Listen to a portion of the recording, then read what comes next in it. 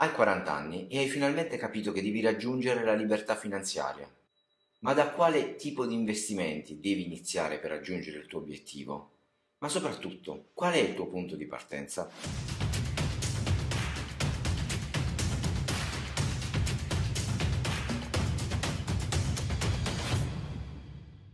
Vi ho già parlato di quelli che sono i fattori necessari per poter raggiungere la libertà finanziaria. Li voglio ricordare il capitale iniziale, la conoscenza delle materie economiche e finanziarie, la conoscenza delle materie tecnologiche, o meglio, la, la capacità di usare la tecnologia, lo stile di vita, il potenziale lavorativo e la famiglia. Questa volta però non voglio parlarvi genericamente di quelli che sono i fattori per raggiungere la libertà finanziaria, ma voglio entrare nello specifico, con l'esempio di un soggetto di 40 anni soggetto di 40 anni che ha deciso finalmente di impegnarsi per raggiungere la propria libertà finanziaria, per poter finalmente non dover più lavorare, senza aspettare l'età della pensione. Se questo tipo di contenuti ti interessano, ti affascinano, allora ti invito a seguire il mio canale, magari lasciami un like e nei commenti scrivimi quello che vorresti che io trattassi o che approfondissi. Io sono Francesco Giannini e dal 2002 aiuto le aziende a creare le proprie nuove idee di business ed espanderle. Sono un project manager e sono a tua disposizione se anche tu avrai bisogno di una consulenza per creare la tua azienda o espanderla. Dovendo fare un esempio pratico, in questo caso parliamo di un soggetto quarantenne, sia per questo video, ma varrà per tutti i prossimi video che tratteranno l'argomento appunto degli esempi eh, teorici ma innestati nella vita reale, sarà necessario creare un modello modello a cui fare riferimento. Per fare questo modello dovremo porre delle semplificazioni, semplificazioni che andremo a porre su quelli che sono i sei requisiti di cui prima vi ho voluto ricordare, quindi capitale, conoscenza delle materie tecnologiche, finanziarie, eccetera. Nello specifico presupporremo che il nostro soggetto abbia una buona conoscenza tecnologica, quindi abbia la capacità di accedere serenamente al web e trovare informazioni al contempo abbia già una base in merito alla materia finanziaria, una base che potrà completare con le informazioni che grazie alla tecnologia potrà andare a reperire. Daremo anche per scontato che il proprio stile di vita, che lo stile di vita del soggetto sia consono al risultato sperato, quindi a raggiungere la libertà finanziaria. Ultimo non ultimo, daremo anche per scontato che la sua famiglia collabori. Perché facciamo questi presupposti? Perché poniamo questi paletti? 4 su 6 li voglio bloccare come paletti. Vi spiegherò semplicemente. Lo studio delle materie tecnologiche, o meglio, la conoscenza tecnologica e lo studio delle materie finanziarie dipendono esclusivamente da noi. Quindi siamo noi a decidere di studiare. Se un soggetto non è disposto a fare questo, è un soggetto che non vuole raggiungere la libertà finanziaria. Va da sé che anche lo stile di vita, su cui io batto tantissimo perché per me è fondamentale e infatti gli dedicherò sicuramente uno o due video appositi, lo stile di vita è governato e deciso dal nostro soggetto. Se il nostro soggetto non adotta un corretto stile di vita per raggiungere i propri obiettivi, allora il soggetto non vuole raggiungere gli obiettivi. Come abbiamo visto, già 3 su 6 paletti sono fondamentalmente in mano unicamente al soggetto che deve raggiungere l'obiettivo sperato. L'ultimo paletto, la famiglia, in realtà non dipende esclusivamente dal nostro soggetto. Poco possiamo farci se nel nostro gruppo familiare a un certo punto c'è qualcuno che non è in linea, che non sia in linea con i nostri obiettivi. Però sicuramente non è compito mio risolvere questo problema, io posso soltanto augurarmi che la vostra famiglia sia in linea con i vostri obiettivi. Pertanto voglio dare per scontato che dei sei paletti necessari ben quattro siano totalmente in vostro possesso, siano governati da voi. Entriamo quindi nel dettaglio e voglio sottoporvi 5 casistiche di individuo quarantenne inserito nel mondo del lavoro che abbia un reddito e che quindi possa essere per noi una, una base di partenza per capire in quale di queste casistiche noi potremmo identificarci.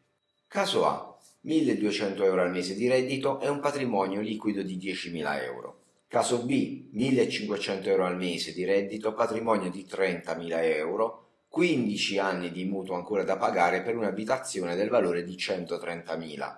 Caso C, 1700 euro al mese, patrimonio di 60.000 euro, 10 anni di mutuo ancora da pagare per un'abitazione da 170.000.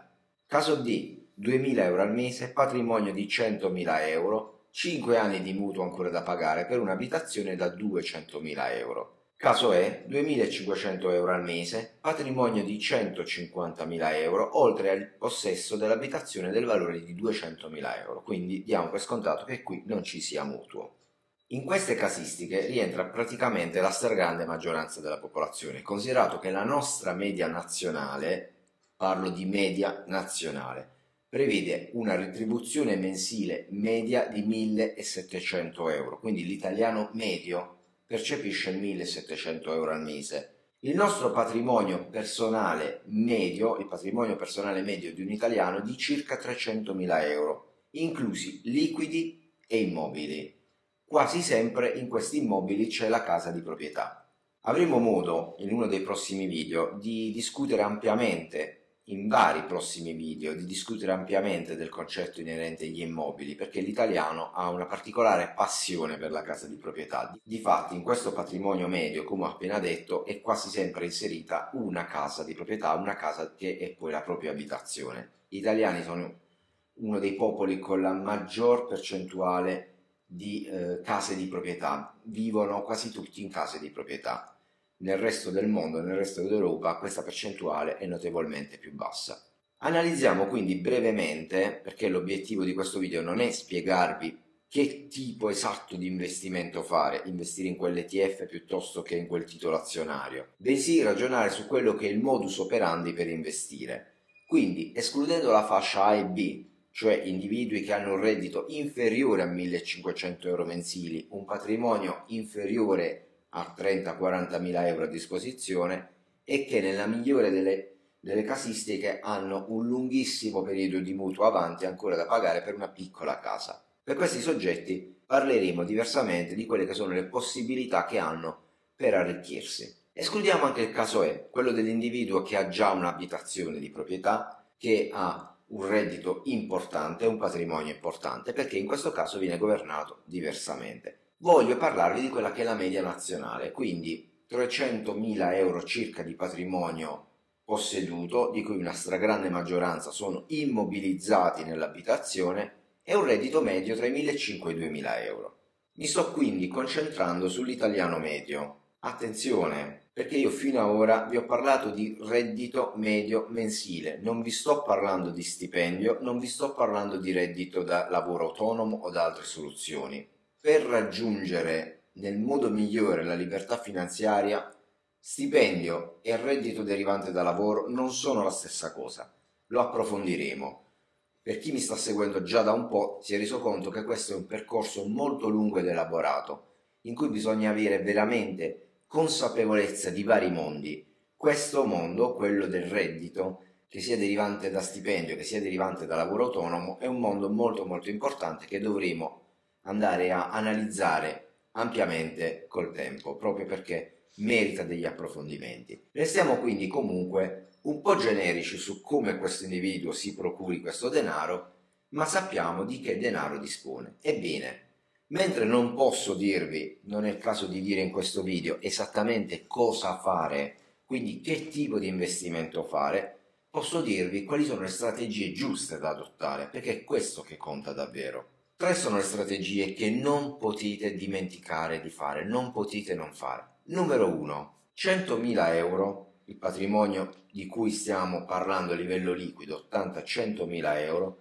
se per voi sembrano tanti, vi posso garantire che non sono nulla. Avete ancora del mutuo da pagare, avete una famiglia a cui badare e non avete un, un guadagno mensile abnorme. Cosa accadrebbe al vostro mutuo, alla vostra famiglia, se voi per una qualsiasi ragione vi infortunasse, vi ammalasse o, peggio ancora, poniamo il caso della morte, 80-100 mila euro non basterebbero, a maggior ragione ancor più della morte in caso di malattia o infortunio grave. Pertanto la cosa più importante da fare subito è proteggervi. Una polizza caso morte, una polizza per infortuni e malattie. Dovete garantire subito la continuità per la vostra famiglia del possesso dell'abitazione e quindi di un valore importante e per voi la possibilità di non intaccare il vostro patrimonio per dovervi curare. Numero 2. Altra cosa da fare subito. Avete 40 anni, ma quando andrete in pensione? E quando andrete in pensione? Quanto incasserete mensilmente? Ok, non possiamo dare dei numeri certi, ma più o meno ne avete un'idea. Quel valore basterà per mantenere in auge il vostro stile di vita? Basterà alla vostra famiglia per vivere? O magari vi sarà possibile vivere pochi anni in quel modo? Perché sì, ipotizziamo che avrete un patrimonio di 100.000 euro nel momento della pensione, mantenendo il patrimonio che già avete. Ma 100.000 euro quanto durano se la vostra pensione sarà di miseri oggi 800.000 euro, a 40 anni non è ancora troppo tardi per iniziare a valutare delle soluzioni di piano integrativo per la pensione. Quindi impossessatevi delle informazioni necessarie, ovvero quanto dovreste percepire di questo passo per la pensione e iniziate a valutare anche una piccola integrazione, ma è necessaria. Numero 3. Se il punto 1 e 2 sono chiari e vi ricordo che sono improcrastinabili, sono necessari per proteggere il vostro patrimonio e voi stessi e la vostra famiglia e quello che già fate, con il patrimonio residuo potremo iniziare a investire. Questo assolutamente non significa che avendo 80-90 mila euro sul conto corrente presso la banca X, entreremo in banca, chiederemo appuntamento al consulente e gli diremo investi. State per fare l'errore più grande possibile. Questo è il momento in cui dovete iniziare ad acquisire consapevolezza, dovete iniziare a studiare e dovete iniziare a capire che non potete concentrare tutto il vostro patrimonio in un solo punto. Sarebbe come entrare in un casino, prendere tutta la vostra vita e puntarla su un solo numero della roulette. Sì, potreste fare il bingo, potreste moltiplicarla all'infinito, ma potreste molto, molto, molto più probabilmente perdere tutto e l'economia si basa su numeri reali e su statistiche. Quello che dovete iniziare a fare è iniziare a diversificare, diversificare, una delle parole più utilizzate nel mondo finanziario e che dovete iniziare necessariamente a conoscere, diversificare i vostri investimenti. Va benissimo investire in fondi, va benissimo investire in ETF, va benissimo investire in titoli dello Stato, ma non unicamente in. Dovete diversificare il vostro tipo di investimento. Data la somma non altissima, non servirà una diversificazione abnorme. Non vi servono 100 titoli azionari, 50 ETF, titoli di Stato di ogni Stato d'Europa.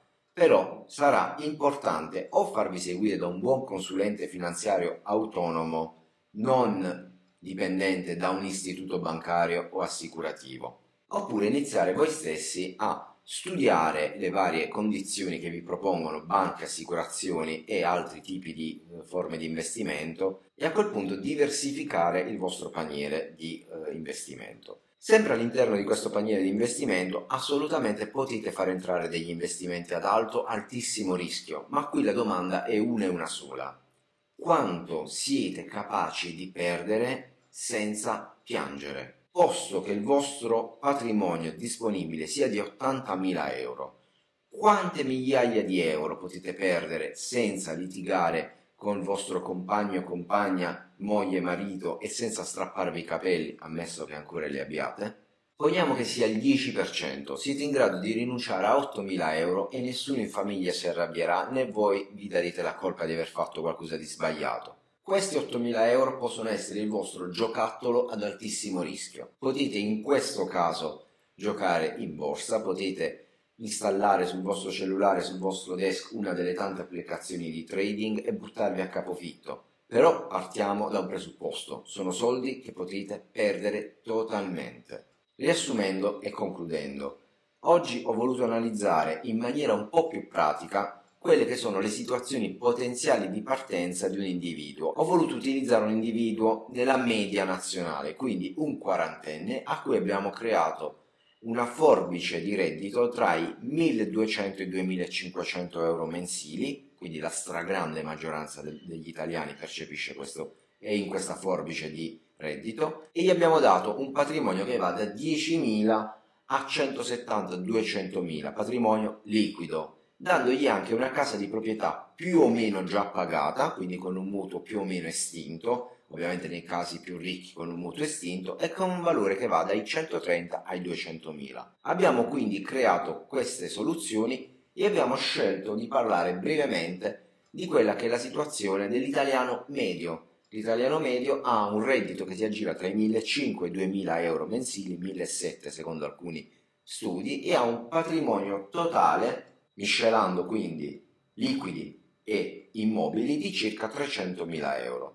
Che tipo di investimento far fare a questo individuo? Bene, più che l'esatto investimento, i consigli necessari da seguire per poter investire. E quindi, numero 1, proteggervi, una polizza caso morte, infortuni, malattia. Non potete permettervi con soli 100.000 euro liquidi di non avere più un ingresso economico. Numero 2, pensare alla pensione scoprire, indagare subito su quelli che sono i vostri presupposti per la pensione e se necessario, e sicuramente sarà necessario, integrare. Numero 3, fondamentale, investire il patrimonio liquido in maniera intelligente e diversificata, a basso rischio soprattutto, tranne per quella piccola parte, piccola parte, mi raccomando, non potete investire il 30% in strumenti finanziari ad alto rischio. Quindi chiedetevi quanto potete sacrificare di questo patrimonio e in questo andiamo a creare un pacchettino di investimenti ad alto rischio. Cose da non fare, non chiamate la banca dove da 30 anni la vostra famiglia si serve, dove avete il conto corrente, non chiedete appuntamento a quel consulente per far investire lui l'intero patrimonio, sarà quello che cercherà di fare ovviamente. Invece voi qui dovete mettere in campo il vostro desiderio di approfondire la materia finanziaria, di utilizzare la tecnologia per studiare e creare una diversificazione semplice sul vostro patrimonio. Come avrete ben capito, raggiungere la libertà finanziaria non è semplice. Diffidate totalmente di chi vi dice esattamente come investire, non sa chi siete. Può esserci un consulente finanziario che conoscendo perfettamente il vostro portafoglio, la vostra persona, le vostre abitudini, vi sappia dare delle indicazioni e quindi entri nello specifico, ma ogni video su YouTube, ogni podcast che vi spiega esattamente in che titoli investire va assolutamente disatteso, va allontanato, non va seguito. Voi siete individui unici, avete le vostre necessità, la vostra storia, la vostra attitudine al rischio.